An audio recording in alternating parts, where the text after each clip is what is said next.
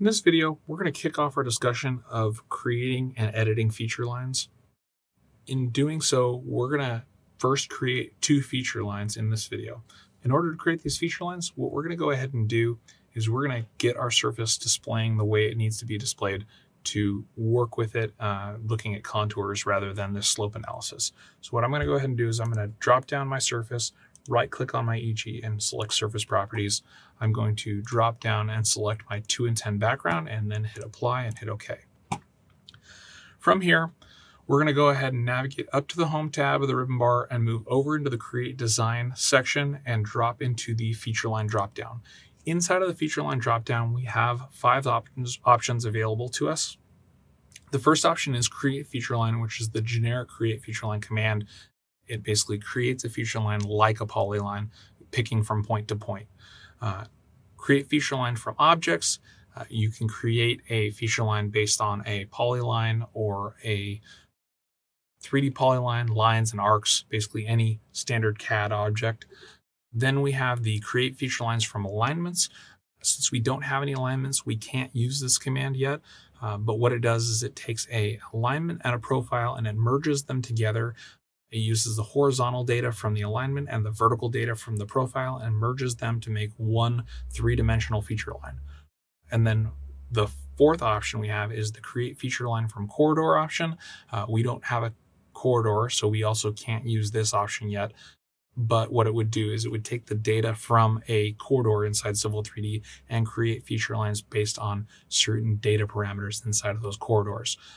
The last option that we have is the create feature line from stepped offset. What this does is it takes a Civil 3D entity, a feature line, uh, another polyline, a 3D polyline, and it steps an offset. It offsets the, the feature line and it also raises or lowers it based on a parameter that we specify in the command line. Uh, so to start this off, we're going to go ahead and get into the create feature line command.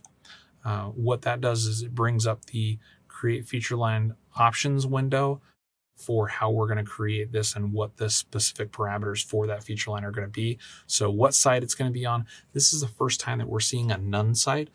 So what a none site is, is it basically says we don't want this object to interact with any of the other objects that we have in any of the sites that we've created.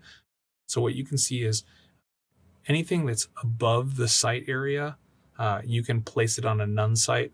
Um, basically, inside of the sites, you'll have options for alignments, profiles, parcels, and that kind of stuff. If it's not inside of the sites tab and you have an option for it inside of this prospector window, it can be placed on a none site. Uh, so we're going to go ahead and have it on the none site because we don't know, maybe we might cross a feature line that's in the survey site or it might be in the development site. We might cross a property line and we don't want to have it interact with that property line. So we're going to go ahead and leave it on the none site we're going to check yes to name this because it's going to give it a name of feature and then a number. If you wanted to modify that name, you could go into click the edit the name template and just like we did with the parcels, you could rename that name for this feature line.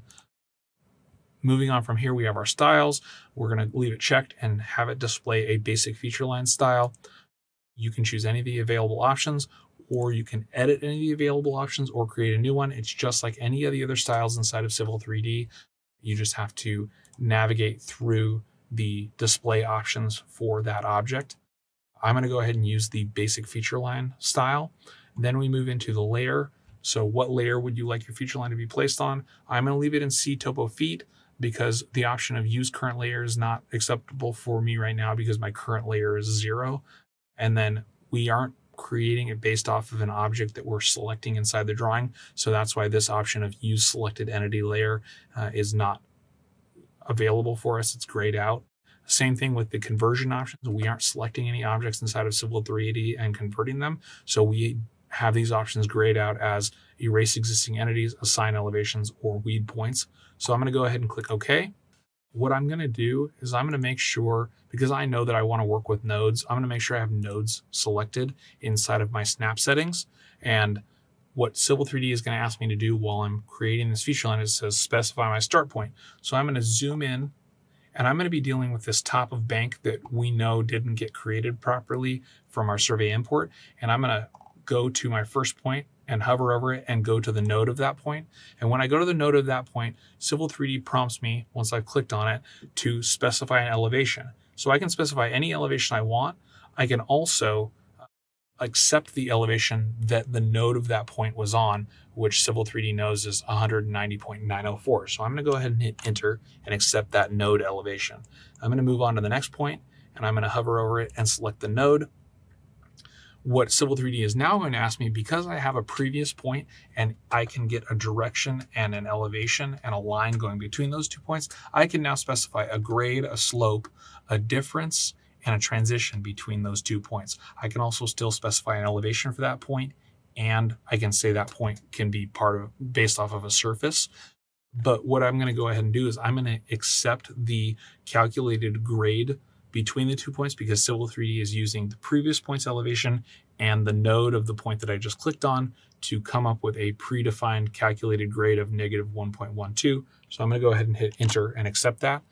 Then I'm going to move on to selecting the node of this point here and accepting the grade between those two. I'm going to move on to the next point and hit enter and so on and so forth until I get to the end of all of these points which case after I get to the end of these points, I am going to hit enter one more time to get out of the draw feature line command.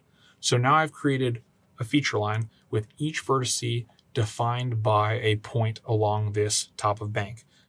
So that is the generic create feature line command the next option I'm going to do is I'm going to create a feature line based on an object. The objects that I can create feature lines off of are lines, arcs, and polylines. So I'm going to go ahead and create a polyline. And I'm going to go between the edge of this parcel. I'm basically creating a polyline that runs along this property boundary here because I know that there are uh, these two parcels here that have a slope on them. And maybe later what I'm going to go ahead and do is level these off. So I want to use a feature line to then later create a grading group and a new surface that's going to give me volume that I can bring into this site to fill in that area and create a graded slope through here. So what I'm doing is I'm converting this polyline into an arc and then I am moving it to be perpendicular to this face of this property boundary.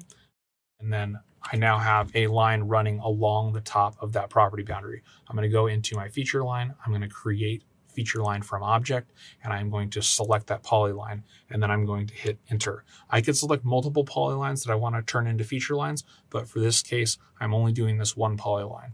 So again, I have the option of what side I want to place it on. I'm going to place it on the none site. I am going to give my feature line a name and a style. I'm going to leave it on the C topo feet layer.